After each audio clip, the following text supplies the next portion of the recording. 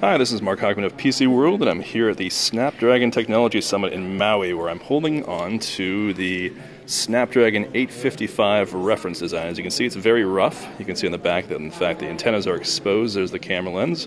Um, but what we're showing here is we're showing one of the capabilities and that happens to be the rec- ability to record in 4K with HDR. So you can actually go and look at some of the videos that were pre shot.